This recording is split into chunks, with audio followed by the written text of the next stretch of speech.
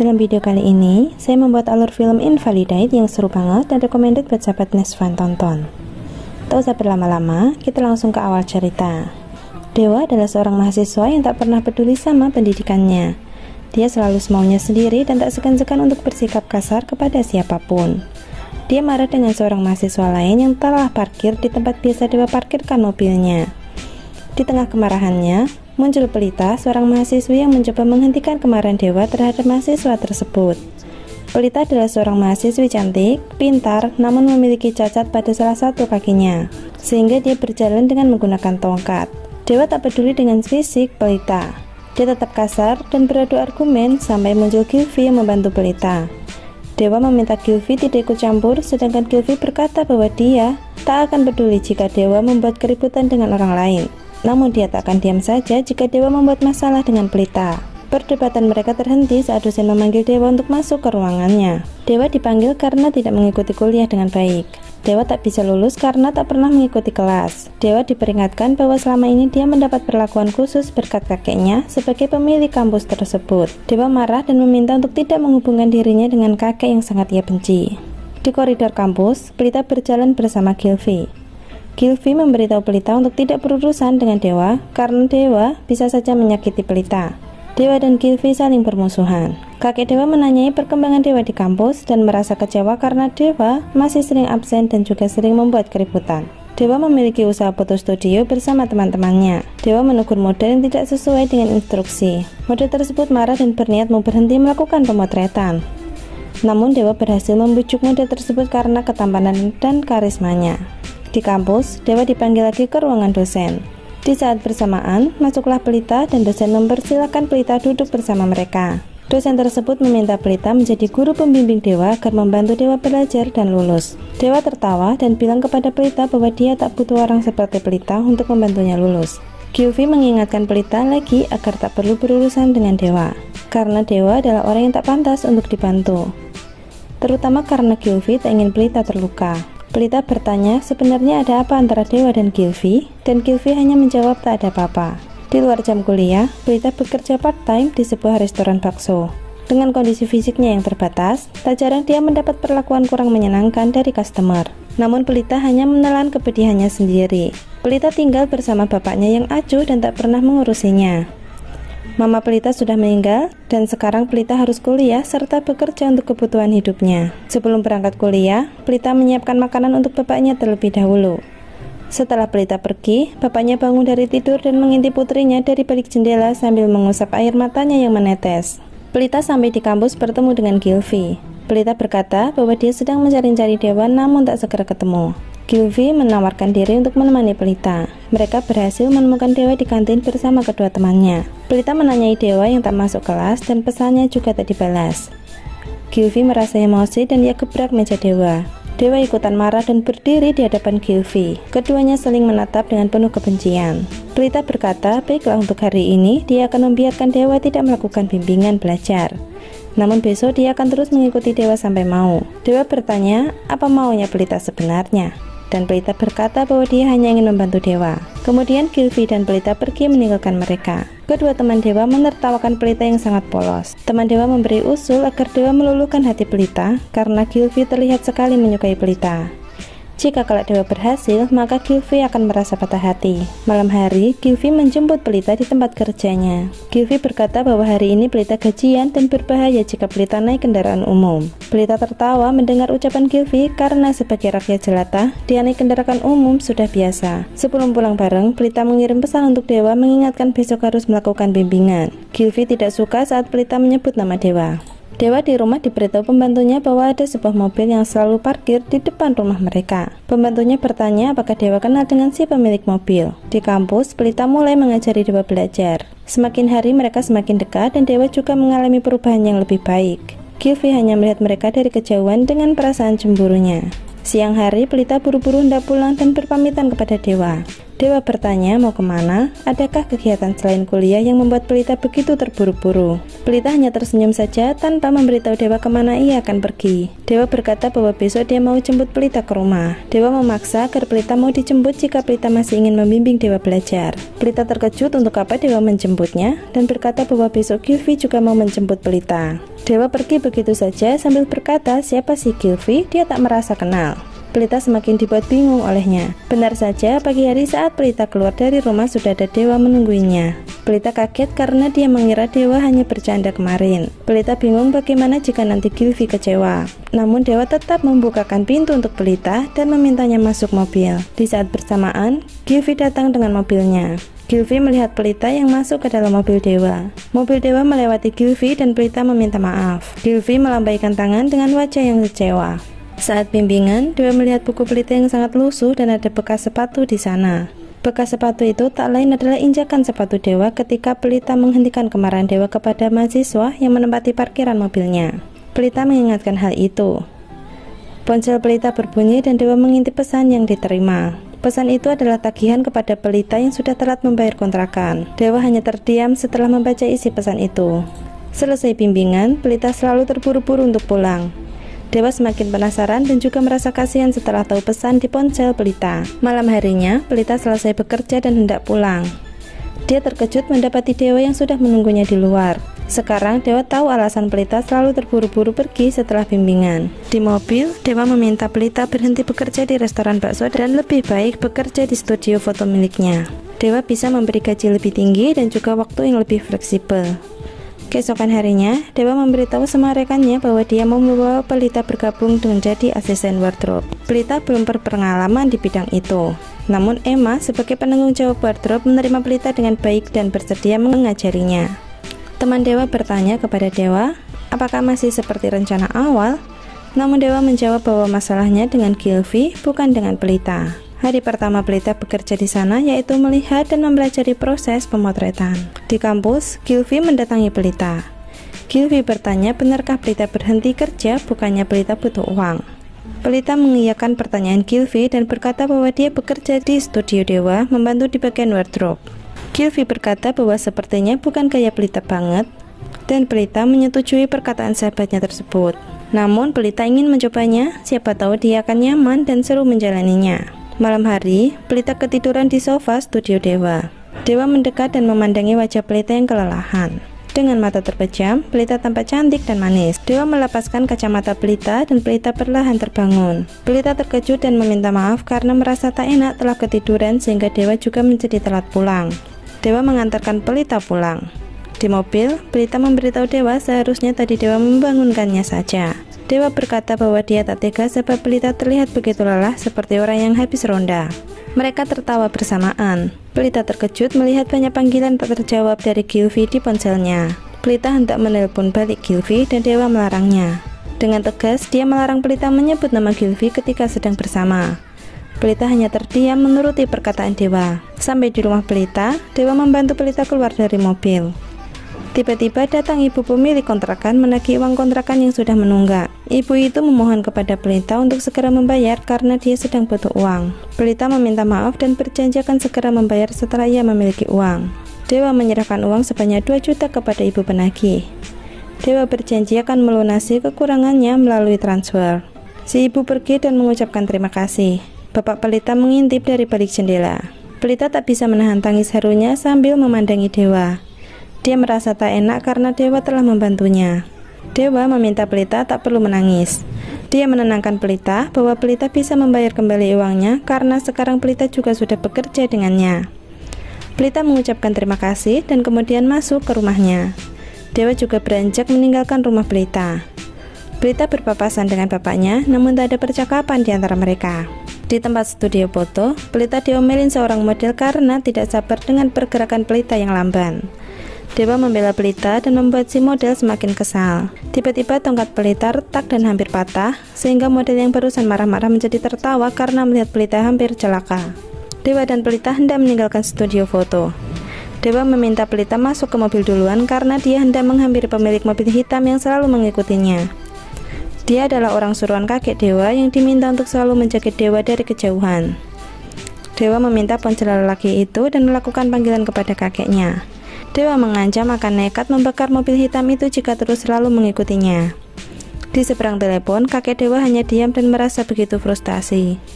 Seorang lelaki di sebelah kakek Dewa mengingatkan kakek untuk tidak terlalu memikirkan Dewa dan lebih baik fokus pada kesehatan kakek sendiri. Kakek Dewa berkata bahwa saat ini Dewa masih muda dan emosinya mudah meledak-ledak. Namun dia yakin suatu hari nanti pasti akan berubah. Di dalam kamar, Pelita memasang lakban pada tongkatnya yang hampir patah. Pelita menangis seorang diri membayangkan perkataan menyakitkan yang ia terima saat di studio foto. Di kampus, Gilvi menanyakan perihal tongkat pelita yang di lakban. Sedangkan pelita berkata tak apa-apa masih bisa dipakai karena masih kuat menopang hidup pelita beserta beban-beban hidupnya. Mereka saling tertawa bersama. Dari kejauhan, Dewa melihat itu dan merasa tak suka. Saat di perpus, Pelita bertanya kepada Dewa tentang permasalahan Dewa dengan seorang pemilik mobil hitam. Dewa menjawab bahwa tak ada yang perlu dibahas dan Pelita tak perlu tahu. Dewa meminta Pelita untuk melupakan apa yang telah Pelita dengar kemarin. Kemudian Dewa bertanya apa saja yang sudah dibahas bersama Gilvi. Dewa bertanya apakah Pelita suka sama Gilvi dan tak memberi kesempatan kepada Pelita untuk menjawabnya. Dewa berkata bahwa Gilvi suka sama Pelita. Pelita hendak menyangkal ucapan Dewa, namun Dewa langsung memotong perkataan Pelita. Dewa menegaskan bahwa Gilvi suka sama Pelita, dan Pelita saja yang begitu bodoh. Dewa tak suka berbahasa basi, Dewa tak suka sama Gilvi. Dewa juga tak suka Pelita dekat-dekat dengan Gilvi karena Dewa suka sama Pelita. Pelita hanya kebingungan mendengar ucapan Dewa yang begitu cepat dan tak menerima penolakan. Kemudian Dewa semakin memperjelas hubungan mereka bahwa saat ini mereka resmi pacaran. Pelita hanya terdiam sambil senyum-senyum tersipu. Malam hari, berada di kamarnya, Pelita memandangi wajahnya di cermin sambil senyum-senyum karena jatuh cinta. Ponsel berdering ada panggilan dari Gilvi. Gilvi berkata bahwa besok pagi sebelum kelas dia ingin memberi surprise untuk Pelita. Pagi harinya, Gilvi memanggil Pelita dengan wajah sumringah. Dia hendak memberi tongkat baru untuk Pelita yang masih ia simpan di mobilnya. Namun saat itu ia melihat Pelita sudah memakai tongkat baru dan tongkat itu pemberian dari dewa. Pelita juga bercerita bahwa semalam Dewa datang sendiri ke rumahnya mengantarkan tongkat itu karena khawatir jika tongkat lama Pelita bisa membahayakannya. Gilvi mengurungkan niatnya untuk menyerahkan tongkat baru untuk Pelita. Gilvi berpamitan hendak masuk kampus duluan. Pelita merasa keherangan dengan sikap Gilvi. Malam hari, Pelita dan Dewa sedang kencan berdua. Dewa bertanya kepada Pelita kenapa mau membimbing Dewa belajar padahal Dewa pernah bersikap kasar padanya. Pelita menjawab bahwa dia hanya mengikuti permintaan dosen saja sebab sudah tak ada yang mampu dan bersedia mengajari Dewa. Dewa merasa bersyukur dan berterima kasih karena Pelita mau menjadi pembimbingnya. Kemudian Pelita gantian bertanya tentang keluarga Dewa. Dewa terdiam sejenak dan kemudian bercerita bahwa dia sekarang adalah seorang yatim piatu. Kedua orang tuanya telah meninggal karena dibunuh perampok kejam waktu Dewa masih kecil. Bahkan sampai sekarang kenangan itu masih teringat jelas. Kemudian Dewa juga bercerita bahwa papanya adalah anak tunggal yang menurut cerita yang pernah ia dengar, hubungan antara papa Dewa dengan papanya tidak baik karena kakeknya selalu memaksakan putranya untuk meneruskan usaha kakek. Setelah kedua orang tua Dewa meninggal, Dewa tinggal bersama kakeknya. Akhirnya Dewa bisa merasakan apa yang selama ini papanya rasakan yang segala sesuatunya diatur oleh kakek. Dewa juga jadi merasa bahwa kakeknya adalah orang yang tak punya perasaan. Yang ada di pikiran kakeknya hanya uang, kekuasaan, dan bisnis. Bahkan kakek Dewa mengambil alih kampus mereka dan mengubahnya menjadi kampus Pradipta sesuai nama kakek. Hal itu dilakukan hanya untuk mengawasi Dewa. Akhirnya, sekarang Pelita tahu kenapa selama ini Dewa selalu malas kuliah dan membuat onar. Pelita mencari berita tentang perampokan yang dialami keluarga Dewa. Tiba-tiba datang Gilvi dan bertanya tentang kebenaran hubungan Dewa dan Pelita yang sudah mulai tersebar. Pelita mengiyakan pertanyaan Gilvi bahwa dia dan Dewa berpacaran. Gilvi memberitahu Pelita bahwa Dewa bukanlah orang yang baik. Gilvi hanya tak ingin Pelita terluka. Pelita berkata bahwa awalnya dia juga mengira Dewa orang yang demikian. Namun setelah mengenal lebih dekat, Pelita jadi tahu bahwa Dewa sebenarnya orang yang baik. Sekarang Dewa juga sudah banyak berubah. Pelita dipanggil ke ruang dosen. Pelita diberitahu bahwa David Pradipta alias kakek dewa ingin bertemu dengan Pelita. Pelita diminta menemui beliau keesokan harinya. Di studio foto, dengan penuh keraguan Pelita mengajak Dewa untuk makan malam bersama. Dewa terkejut dan merasa aneh saja, tak biasanya Pelita mengajak makan bersama. Sambil tersenyum, Dewa bertanya jangan-jangan Pelita habis bikin kesalahan, dan Pelita menambiknya. Kemudian Dewa berkata dia akan menjemput Pelita malam nanti dan meminta Pelita untuk dandan yang cantik. Berbeda dengan wajah dewa yang sumringah, Pelita justru menjadi pucat. Malam tiba, Pelita dan Dewa tiba di sebuah restoran. Dewa terkejut mendapati kakek beserta keluarga anak angkatnya sudah berada di sana. Kakek merasa sangat senang melihat kehadiran Dewa. Kakek bertanya kabar dan Dewa hanya menjawab dengan ketus.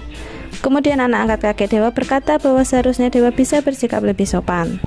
Kakek Dewa tak mempermasalahkan itu selama dia bisa memandang cucunya berada di hadapannya. Kakek Dewa mempersilahkan mereka semua menikmati makan malam keluarga tersebut. Pelita sama sekali tak nyaman berada di antara mereka. Terlebih, dia yang membawa Dewa ke restoran tersebut atas permintaan kakek Dewa. Pelita juga dibuat terkejut dengan kehadiran Gilvi di sana. Ternyata, Gilvi adalah anaknya si anak angkat kakek. Jadi, Dewa dan Gilvi ini sama-sama cucunya Pak David Pradipta. Hanya saja, kalau Dewa adalah cucu kandung, sedangkan Gilvi adalah cucu dari anak angkat itu. Kakek bertanya kepada Gilvi apakah kenal dengan Pelita. Kemudian kakek juga berterima kasih kepada Pelita yang telah bersedia membimbing Dewa belajar. Kampus Pradipta merasa bangga memiliki mahasiswi baik dan pintar seperti Pelita. Kemudian kakek bertanya tentang kelanjutan pendidikan Gilvi yang membanggakan. Kakek memuji Gilvi yang sedari kecil sudah terencana segala sesuatunya, maka sudah dipastikan masa depannya juga cerah. Dewa tersenyum kecut mendengar itu dan Papa Gilvi tak suka. Papa Gilvi menanyai Dewa apakah ada masalah dan Dewa berkata tidak ada masalah. Akhirnya perdebatan tak bisa dihindari, Dewa pergi meninggalkan mereka. Pelita berpamitan mengejar Dewa. Dewa menghentikan mobilnya di pinggir jalan. Dewa keluar dan menangis meluapkan emosinya. Pelita keluar menyusul Dewa sambil meminta maaf. Dewa benar-benar merasa kecewa karena selama ini dia yakin masih ada satu orang yang bisa dia percaya, tak bisa dibeli dengan uang, yaitu Pelita. Namun nyatanya, malam ini dia tahu bahwa Pelita sama saja dengan mereka. Dewa merasa telah dikhianati. Pelita meminta maaf dan berkata bahwa dia tak pernah berpikir akan berakibat sejauh ini. Pelita juga menjelaskan bahwa dia tak punya pilihan lain. Dewa bertanya dibayar berapa sampai Pelita mau melakukan semuanya. Sejak itu, Dewa selalu menghindari Pelita, baik di studio maupun di kampus. Pelita selalu murung dan menangis. Gilvi datang dan meminta maaf. Pelita bertanya kenapa selama ini Gilvi tak pernah bercerita jika ternyata Gilvi bersaudaraan dengan Dewa. Akhirnya Gilvi bercerita hubungan sebenarnya antara dia dan Dewa. Tentang Papa Gilvi yang sudah lama bekerja dengan kakek Dewa dan kakek Dewa senang dengan kerja keras Papa Gilvi. Sampai akhirnya kakek Dewa menganggap Papa Gilvi seperti anaknya. Dan begitu juga Gilvi sebagai seorang cucu. Pelita semakin merasa bersalah kepada Dewa dan menyadari bahwa dia telah begitu menyakiti hati Dewa. Kakek Dewa datang menemui Dewa di rumahnya. Dalam hatinya berkata bahwa dia telah kehilangan anak kandungnya dan sekarang dia tidak ingin kehilangan cucu. Dewa bertanya alasan kakeknya datang. Kakek Dewa berkata bahwa sifat keras kepala Dewa sudah merupakan tradisi turun-temurun di keluarganya. Dia juga merasa heran, dia memiliki segalanya namun kenapa dia tak merasa bahagia di mana anak dan cucunya bisa mendapatkan segala sesuatu dengan mudah, namun nyatanya semua tak ada artinya bagi mereka. Namun nyatanya semua tak ada artinya bagi mereka. Kakek telah bekerja keras, berjuang membesarkan perusahaannya, yang di sana juga banyak karyawan yang menggantungkan hidup mereka di perusahaan Pradipta. Kakek tak ingin perusahaannya kelak jatuh di orang yang salah. Kakek tak ingin memaksakan kemauannya pada dewa. Kakek mau mendukung apa pun pilihan Dewa, namun dia berharap suatu saat Dewa mau menjaga perusahaannya. Sehingga jika kelak dia sudah tak ada, ada Dewa yang bisa dia percaya untuk melanjutkan perusahaan Pradipta. Dewa hanya terdiam mendengar kata demi kata yang diucap kakeknya. Malam hari, Pelita menghampiri Dewa di studio. Pelita meminta maaf kepada Dewa dan berkata bahwa dia sudah melepaskan beasiswa yang kakek Dewa janjikan sebagai imbalan mau membimbing Dewa belajar dan juga merahasiakannya dari Dewa. Namun Pelita memohon kepada Dewa untuk terus membimbing Dewa belajar sampai Dewa lulus. Bukan karena kakek atau siapa pun, melainkan karena dia peduli dengan Dewa. Gilvi menjaga Dewa dan meminta Dewa untuk tidak mengajukan pelita. Pelita tak salah, hanya dimanfaatkan orang-orang saja. Mungkin bagi Dewa kuliah tidak terlalu penting, namun bagi pelita itu adalah hal besar menyangkut masa depannya. Pelita berada di sebuah lorong kampus tanpa sengaja mendengar percakapan teman-teman Dewa tentang rencana mereka membuat Pelita jatuh hati. Dan sekarang mungkin sudah saatnya Dewa melepaskan Pelita yang seperti rencana awal mereka. Pelita terus berjalan dan menangis. Gilvi mengejar Pelita dan meminta Pelita menjauhi Dewa karena Dewa bukan orang yang baik. Gilvi berjanji akan membantu Pelita menanggung semua biaya kuliah Pelita. Ucapan terakhir Gilvi justru semakin melukai Pelita. Malam hari, Dewa menemui kakek di rumahnya. Kakeknya merasa sangat senang melihat cucunya datang ke rumah. Dewa berkata bahwa dia akan mempertimbangkan permintaan kakek, namun dengan syarat yaitu kakeknya mau menghentikan mata-mata yang selalu mengawasinya. Sedangkan kakek berkata bahwa semenjak kedua orang tua Dewa meninggal, dia ingin memastikan saja tidak ada yang mengganggu Dewa. Selain itu, Dewa juga meminta kepada kakek untuk berhenti melibatkan pelita di antara mereka dan jangan sampai beasiswa pelita dihentikan. Kakek menyanggupi permintaan Dewa dan sebenarnya beasiswa pelita tidak akan pernah dihentikan karena pelita adalah mahasiswa yang berprestasi. Bahkan jika dia tak bersedia menuruti permintaan kakek sekalipun. Pelita menangis di teras rumah. Bapaknya keluar menghampiri melihat putrinya menangis bertanya ada apa. Pelita bertanya dia hanya kehilangan ibunya, namun dia merasa hanya hidup sendirian. Pelita tak pernah merasa bapaknya ada. Pelita meminta bapaknya berhenti merasa bersalah atas kepergian istrinya. Pelita juga yakin jika bapaknya sudah berjuang untuk kesembuhan istrinya. Pelita meminta bapaknya untuk melanjutkan hidup dengan bahagia, tenang, tanpa beban. Pelita yang akan mengurusi bapaknya. Bapak Pelita tak menjawab sepatah kata dan berlalu pergi. Bapak Pelita pergi ke sebuah kedai kopi. Di sana dia bertemu dengan dua orang lelaki seusianya yang meminta Bapak Pelita untuk membereskan masalah yang telah dia ciptakan sambil menyodorkan sebuah pistol. Bapak Pelita menolak perintah itu dan berkata bahwa semua tak sesuai perjanjian awal. Dia hanya dijebak. Di studio foto, Dewa mencari Pelita namun tak ada. Ponsel Pelita juga tak bisa dihubungi. Secara tidak sengaja, Dewa menyenggol gelas hingga jatuh dan pecah. Pelita seorang diri di kamarnya, tiba-tiba pintu dibuka paksa dan Pelita diculik kedua orang yang menemui bapaknya tempo hari. Pelita disekap dan dijadikan alat untuk mengancam bapaknya agar mau membereskan masalah yang disebutkan di awal. Saat Bapak Pelita pulang, sangat terkejut mendapati pintu rumah terbuka dan tinggal tersisa tongkat Pelita di kamarnya. Dewa baru pulang dan langsung menuju kamarnya. Tiba-tiba ada Bapak Pelita yang menodongkan pistol di kepalanya. Dewa mengenali wajah Bapak Pelita bahwa dia adalah wajah yang telah merampok rumahnya di masa kecil. Dengan penuh emosi, Bapak Pelita menjelaskan bahwa dia butuh uang, tapi dia bukan seorang pembunuh. Dia dijebak, dia diberitahu hanya untuk merampok, namun ternyata niat yang lain adalah membunuh keluarga Dewa. Dan sekarang dia terpaksa harus membunuh Dewa karena orang-orang jahat itu telah menculik Perlita putrinya. Di situ Dewa jadi tahu jika orang yang merampok rumahnya salah satunya adalah bapaknya Pelita. Dewa juga jadi tahu jika Pelita telah diculik. Kemudian terdengar suara tembakan menggema di sana. Berita duka atas meninggalnya Dewa, cucu seorang pengusaha terkenal tersebar di seluruh media. Pelita berhasil diselamatkan bapaknya setelah menjalankan perintah dari para penjahat. Jadi, apakah set ending? Tidak guys, berita kematian Dewa hanyalah berita palsu untuk menjebak siapa dalang sesungguhnya yang telah merencanakan pembunuhan terhadap keluarga Dewa. Pada malam itu, Bapak Pelita tidak menembak ke arah Dewa karena pada dasarnya dia memang tak ingin menjadi pembunuh. Dan ternyata dalang pembunuhannya adalah Papa Gilvi yang didasari rasa iri dan serakah ingin menguasai perusahaan Pradipta. Sebelumnya, Gilvi merasa begitu sedih saat mengetahui kabar kematian Dewa. Sedangkan kini dia menjadi terpuruk dan sangat malu dengan sikap papanya. Film ini berakhir dengan happy ending, Pelita dan semuanya berhasil lulus. Selain itu, para penjahat ditangkap polisi termasuk bapak Pelita. Pelita meminta bapaknya untuk berhenti melakukan kesalahan dan bapaknya menyanggupinya.